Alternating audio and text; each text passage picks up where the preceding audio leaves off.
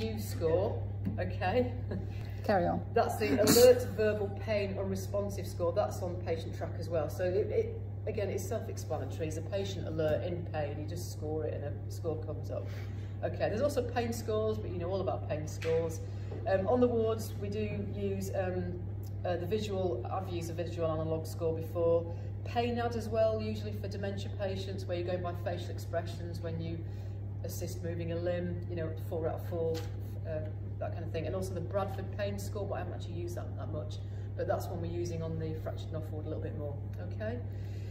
So, maintenance of trends, changes in trends, okay?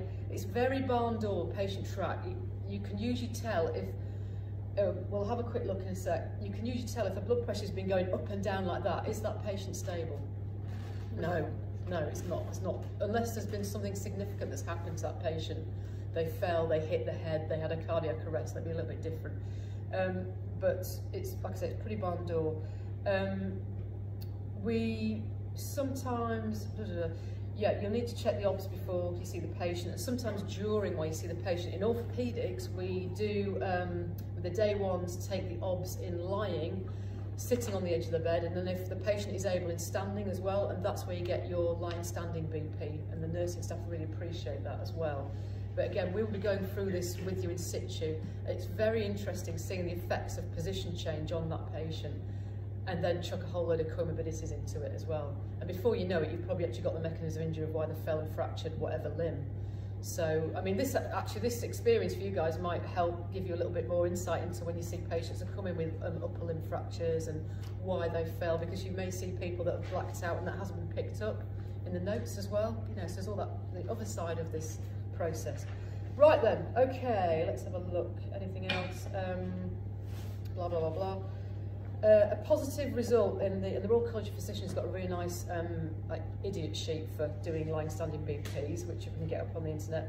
Um, a positive result in BP drop from lying to sitting is a drop in systolic, the squeeze, the cardiovascular squeeze, especially in day ones, um, and um, it's 20 milligrams of mercury drop in BP, okay. And you'd be surprised how many people do actually drop when you get them. And if you think about when you see them actually in MSK sometimes, again, that's that whole, just thinking about the bigger picture, you know, you probably do like, oh, just have a minute, you know, but it's not just is the GP aware of you, you know, you feel a bit funny when you go from that position, when you've been doing some magic healing treatment, you know, won't go to prone positions, but yeah, but is that, you know, just trying to link it a little bit for you. Um, don't forget, there's also the symptoms as well. You might get, sometimes you get symptoms, but without the um, BP drop as well. So dizziness, lightheadedness, vagueness and visual disturbances. And remember, we've got a very stoic generation up there as well. I'm absolutely fine and they're swaying like that, like sit down. Um, so, you know, please do check, you know, so when you're standing, how do you feel? Um, that kind of thing. All right, like I said, a lot of it's barn door common sense. Okay, so is that all right? It's a very brief overview. I'm going to go through them now with you for taking the OBS. Um, shall we have a quick look at patient track as a group and but trying to maintain all that? I could do that maybe together? Yeah, do you want me to show something? Yeah, we could do that. Yeah, let's do that. Yeah, two groups. Do you want to do that? That'd be really helpful. Thank you. Right, How are we going to video that? and Victim. Excellent. Try and speed it up a little bit. Yeah. Although I did it the first bit without showing. So, right, come here, you.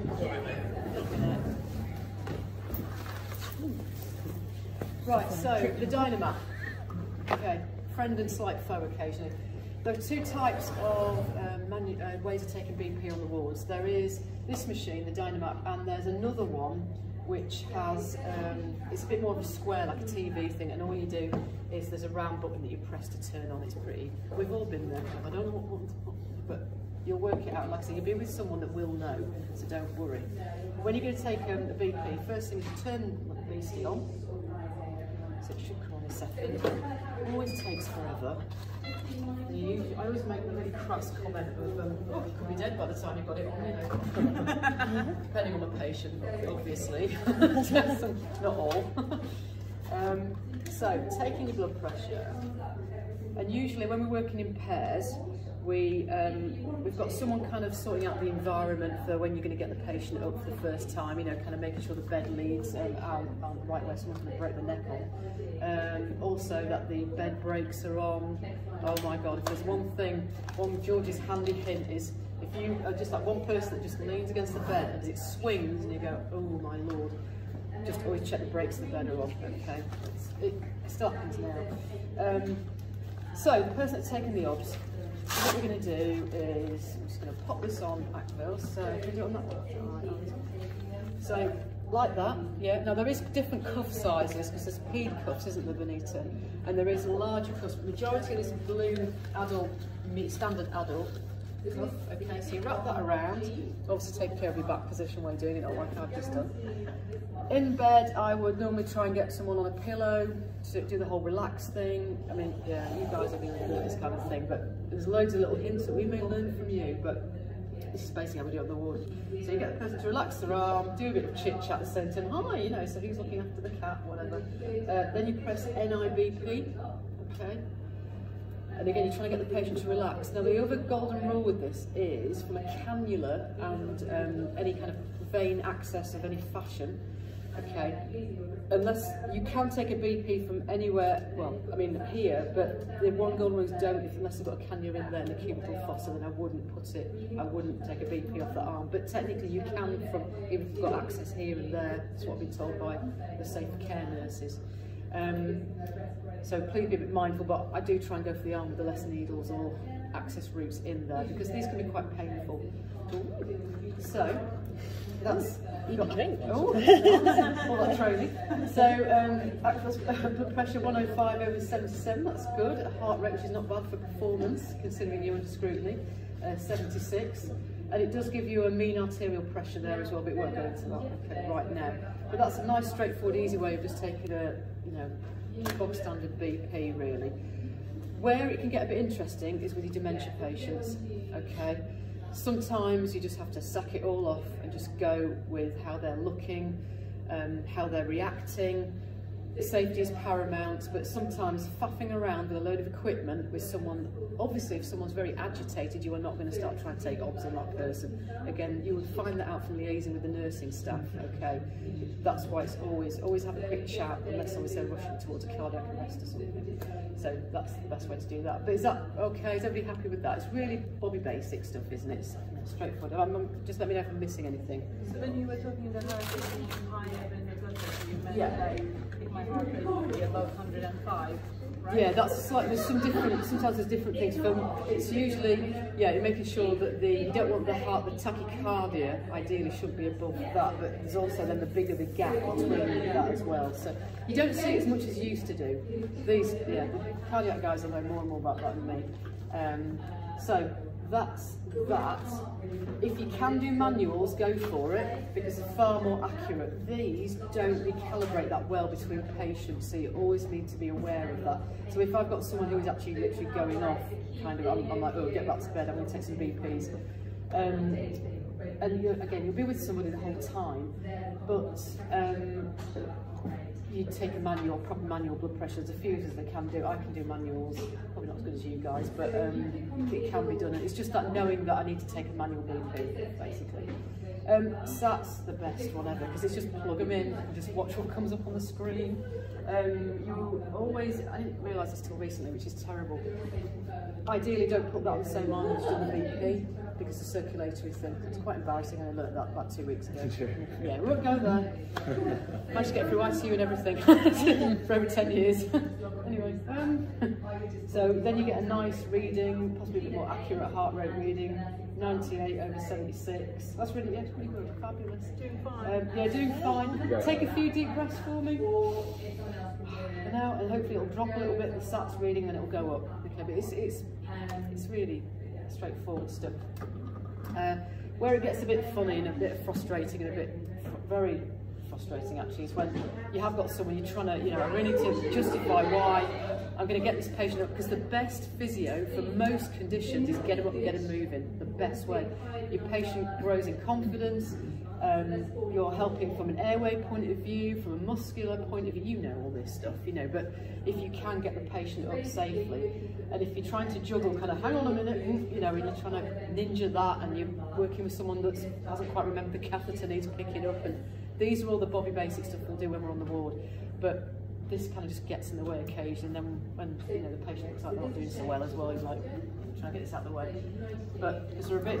This is not a bad one, but it can be a little bit. And then the battery's gone dead as well, and you have to plug them in. It always plugs are over there. So that's the SATs. Okay, that's the basic stuff with that. What else did I write on here? O2 saturations. Um, thermometers we'll cover when we're on the ward because they've changed. They used to be the um, ear ones, which is literally put a clip in, bung it in the ear, press the, there you go, Bob's your uncle, Charlie's your aunt, um, kind of thing. But now we've got these ones that are um, all you can put in the mouth, underneath the tongue, or in the um, axilla as well, okay, with a sleeve.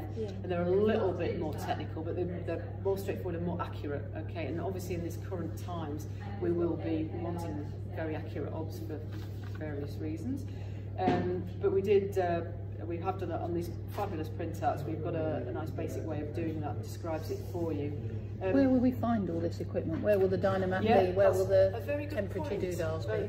Temperature doodles are normally in here. Everything for taking a full set of obs are normally with the obs machines. Okay. Um, there are blue mats on each ward outside some of the bays that will say obs machine, and they're usually there, just a bit like the crash trolleys. Just don't forget to unplug it or take the plug with you, because you probably have to plug it in instead of flat.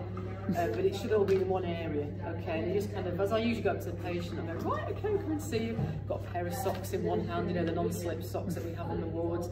And I've got a patient information leaflet in another, usually dragging a reluctant band five with me. Come on, you'll be fine. Um, you, know, um, you know, that kind of, come on. and yeah, so um, yeah, it's that kind of thing. Um, but you just take it all with you, um, and a Zimmer frame at the same time. But again, this is all what you'll learn on the job and not to be worried about, okay? You, like I say, it's just a, it's a bonus and a benefit that you guys are with us, you know, so it's really helpful. George, as a Yes. obviously we take our own notes, we document it on our notes, and will we be expected to put on patient track? Um, we're hopefully going to be doing that, yeah, and it's really easy, really easy. I've been doing it for about three years. Yeah, we're sorting that out. We're sorting that out. We thought we just get you on there and doing and just looking at obs. Just you know, do it stage one, get yourself happy with it, and then you'll start. But it's just literally you click on on there, you click on the screen that has a, a crayon, and it's just an access. trust me, if I managed it, anyone can. Uh, respiratory rate, observe rise and fall of your patient's chest, but you do need to actually not. We used to just do 15 seconds and times it by whatever. You've got to actually watch them, uh, and that's it. Is that okay? Cool. So do we want to swap our groups over Yes, then? and yeah, yeah. Cool. Thank you.